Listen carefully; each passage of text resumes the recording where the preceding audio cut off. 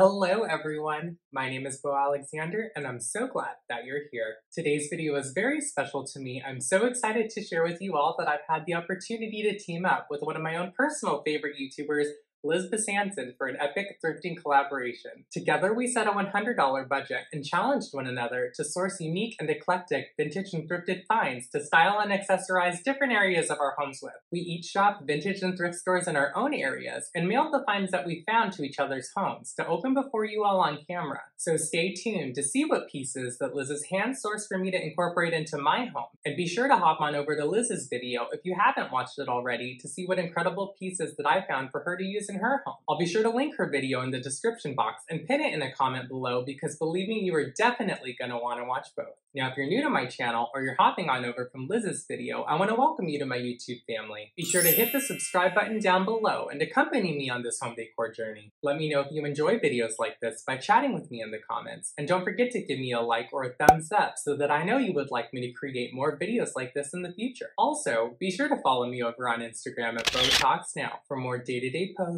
and inspiration. Let's jump right into it. I'm here shopping for Beau and I'm in one of my favorite spots. And I am seeing lots of good things. I had to study Beau and look at his videos and kind of figure out things that he's into as far as his decor. And so, yes, yeah, so that's what I'm doing today. This is just one of many shops that I'm going to be visiting. So, just want to let you know what's going on today.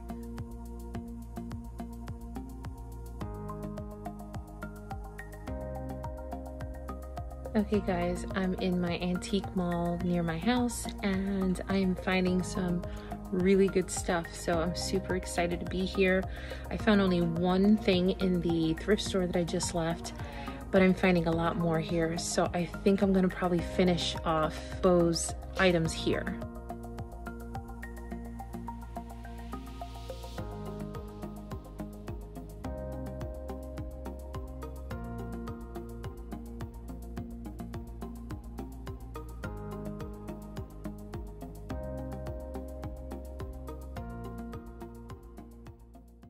So I'm sure that many of you already know who Liz is, but on the off chance that you haven't had the opportunity to discover her just yet, I have to let you know how incredibly talented she is. Her home is impeccable, and she is creative beyond belief. So before my YouTube debut a few months back, I was searching for minimalistic and mid-century home decor videos for inspiration, and that's actually how I stumbled across Liz. I found a few of hers. She's really well known in this home decor niche for her vintage thrifting hauls, and to be quite honest, she inspired me to go out there and source home decor for my space on the secondhand market. I used to thrift quite a bit when I lived in New York City a few years back. I would typically seek out vintage and designer handbags and jewelry and clothing, but the idea of sourcing secondhand home decor and accessories is still relatively new to me. Now, Liz and I actually formed our friendship or the bond that we have for home decor here in the comments on our YouTube videos and over on Instagram. So I was all too excited to take part in this challenge with her. As I said before, we did decide to just set a $100 budget for this video. We didn't really go over guidelines or wants, wishes, needs, none of that. So this was really more just like a friendly test of skill to kind of see what items that we pick for each other. I mean, I literally watched just about every video of hers to kind of garner an understanding for her home decor aesthetic. I also stalked her Instagram hardcore because she is such an incredibly talented photographer too. And I really wanted wanted to deliver for this challenge. I mean, she has such a keen eye. I, I didn't want to disappoint. My goal is to really just get a feel for the types of home decor accents and accessories that she uses to style her home with already, and use that to help me navigate through and seek different pieces in these stores that I think she'd find appealing. In the area that I live in, we do have just a couple of Goodwill and other vintage and thrift locations. So for the last few weeks, I've literally been scouring the shelves in search of these more eclectic and unique finds. And I have to tell you guys honestly just how amazing the items that I found were each and every time I went out sourcing. I found so many pieces that I felt would ultimately suit her style and work for this challenge. To be quite frank, I mean, they were all so reasonably priced that I had to keep sort of accumulating the pieces over the past few weeks because I had to reach that agreed upon amount that we set. My experience searching for the items that I bought for Liz for this challenge was probably one of the best experiences that I've had had thrifting to date. I was amazed at all of the different pieces that I was able to score, and now I have this sudden urge to continue going to these different secondhand stores on the weekends to see what I could score for myself. The only thing I could really compare it to would be a trip to Home Goods because the different products that they place out on the shelves vary from visit to visit. And I mean, it's like a real life treasure hunt. You never really know what you're going to find. I have to say, I'm pretty proud of the collection that I've assembled for her for this challenge and sent her way. So if you've already watched her video, be sure to let me know below which of the items that I sourced for her was your favorite. Now, I have the box that Liz sent me here, and I'm going to be completely honest with you guys and keep it 100% real. I couldn't contain myself. I was like a kid on Christmas morning, and I had to take a peek inside. But could you blame me? I mean, I was so excited to see the different pieces that she picked out for me. But enough chit chat, let's dive right inside so you can see the different pieces that she picked out for me too. All right, you guys, so let me open up this box. And she did include a note. So, Beau, thank you for collabing with me. I'm sure this will be the first of many. I truly hope you enjoy these selections as much as I do. I had a hard time parting with them. Much love, Liz. And that is the honest truth. There were so many pieces that I got for her that I was like, I want that for me too. But I know that they're going to a good home. So Liz, I really hope that you enjoyed all the pieces that I sourced for you too. Okay, you guys, so I'm gonna go in for item number one.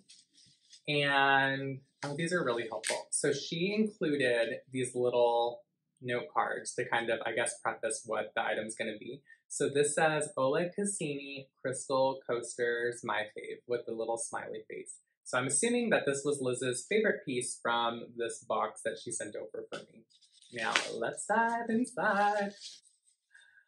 Okay, you guys, so these are, so it's a set of four coasters, and I mean, just guessing because she said that they're crystal, I would assume that it's like a lead crystal or like a, a glass cut crystal. Look at how, look at the detail on these, you guys. So it's almost, I don't know if you can see that. It's almost like a, like an undulating, like a wave-like edged cut all around the perimeter. And these, so these are super heavy, believe it or not. They're, I would say this, like together, they probably weigh, you know, at least two pounds. I don't know if these are a vintage find or if these, because they look pretty contemporary in style to me. But if I had to guess, I would probably say if they were vintage, they'd be like from the 80s. So these are so elegant, you guys. Something like this I would definitely use on my coffee table or you know, I might even use them on like a side table that I have here to place a candle on top of. I use coasters literally I think like in every area. I have them in just about every area of my apartment because I'm a stickler for people using glasses and leaving ring marks on a table. So these are like the perfect gift and I, I don't have any in my little collection or arsenal that are this elevated in design. So these were perfect. She did so good on this. I'm so excited to use these. Okay, next up is, let's see what we have here. So it's an Art Deco style table clock or mantle clock. Crystal needs battery. Thank you for the note, Liz. Packaging peanuts are flying everywhere.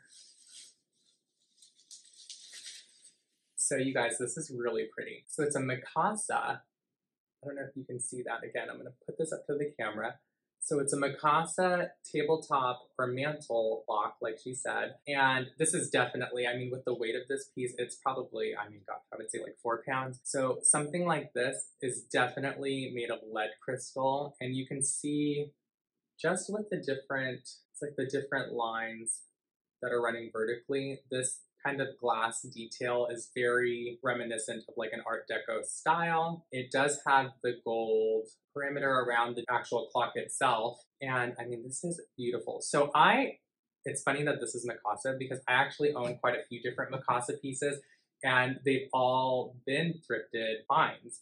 Mikasa, just from what I know, I believe is made in Germany. I think at one time it was made in Japan, but it's, I believe more recently it's been made in Germany. When I go to thrift stores, I am constantly seeking out the crystal. That's one of the pieces that I immediately look for because I feel like it is such a classy and elegant way to elevate a home, especially like right now during the holidays. I have a bunch of different crystal bowls And I think if you guys have followed me for some time, you know that I drink out of crystal glasses. It's just a way to make yourself feel better. And quite honestly, I'm sure that this piece was probably a bigger portion of the budget, but I know that when I've, like I said, sourced pieces at Goodwill or other different vintage stores and thrift stores in my area, they're relatively inexpensive compared to what you would pay for them if you were to go to an upscale retailer like Bloomingdale's or like a Neiman Marcus. So definitely a great piece to have. Thank you again so much, Liz. I could see myself styling it in my bookshelf or putting it on my nightstand next to my bed. Some, this is classic. So never gonna go out of style and I'm super, super excited for this piece. Again, packaging peanuts doing the most. Okay, so this says mid-century teak slatwood bookends. Now let's take a look at these bad boys. So these, oh, look at the lines. Okay, guys, so these are definitely, oop, let me get situated here. These are definitely very mid-century modern in appearance. Look at the detailing on this, you guys. So these are beautiful. They're, so she, I'm assuming, where's my note? That these are made of made of like a teak wood, which is a really nice, expensive wood. If you get like outdoor furniture that's made of teak wood, it's supposed to be like a really resilient wood that can withstand like the elements. So that would explain why these are probably like in perfect condition nearly, I don't know, 70 years later. If I had to guess, I would say something like this was probably from the like 1950s or 60s, just based upon the look of them. And from what I know personally about the mid-century modern furniture design and aesthetic, I believe a lot of the pieces we were like heavily influenced by like Denmark. So I would be curious to know if they oh they do have like a little it's an imprint and it says Espan S Espan Espan E S P A N.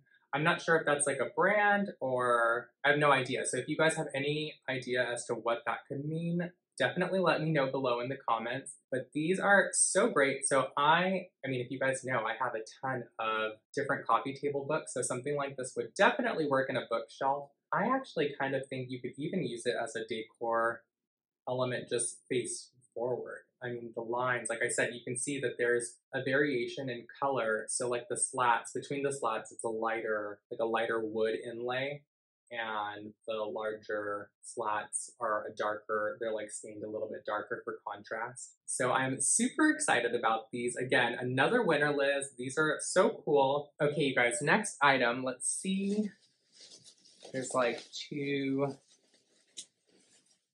pieces that are bunched together. I'm telling you, there's like packaging peanuts everywhere. She did an excellent job on packaging. I have to say, I probably packaged her stuff. I don't know if she's going to show this part, but I definitely like over packaged because I wanted to make sure that everything made it safely and in one piece. So I appreciate all the bubble wrapping, Liz. So this says four piece espresso set made in Italy, 1950s, signed underneath. So I'm assuming these are going to be like cute little espresso cups, maybe? Uh, guys, look how cool these are. I don't know if you guys are coffee drinkers, but these are little espresso cups and they have like a gold rim. I wonder if this is like real gold or not. I would imagine I mean, I, I don't have these, but I've definitely drinking out of them before. Okay, cool. So they are. So they're, it's like a gold rimmed espresso cup and it does come apart for easy cleaning. Super cool though. So it has, what does this say? Cadenza and Italy underneath. So it is stamped. So these were obviously made in Italy. She thinks they were made in the 1950s. Yeah, and I would probably agree that these are definitely more of an antique. Something like this would definitely come in handy when I'm making espresso shots in my Keurig machine in the mornings. Okay, so let's see what this is. Okay, so it's like a little a saucer that goes under I don't know if you guys can see all the different cut detailing on this. Does this one have any engravings? I don't think it does. But this would essentially be, I think, like a, so it's a, a four piece set. So you would set the coffee, I'm sorry, the espresso cup on top like that. So these are very stylish, very mid-century chic, and I'm super excited to actually use these. So thank you again, Liz, at Total Winner. So excited. So next up would, let's see. So this says three-piece set, part one marble table set. And then this, actually, I'm gonna just open them all quickly. Very cool. This is like right up my alley in terms of color. So this, you guys, this is cool. It's like a salt and pepper shaker. And this here is what I'm at. I think it's a, it's like a napkin holder. So I don't know if you can see that. I think these are, I don't know if these are porcelain or if they're ceramic, but it's like a, it has like a glazed effect on top. It looks like marble. So it's like a marble glazed sort of design on all three pieces. Super cool though. It's a very unique pattern and something like this, I mean, just based on the, the actual silhouettes of the pieces themselves, I would imagine that this is probably from like the 70s, if I had to guess. For being so, gosh, that's probably, I mean, I would say at least 50 plus years. And they actually have the little bottom enclosures, they're still intact on both. And there's no chips or signs of wear. So, I mean, that's pretty cool. These are really, really cool. I could definitely see myself using these on a tablescape with my porcelain plates that I had. So very, very cool. Okay, next item. Let's see. So this says 40s to 50s vintage vase.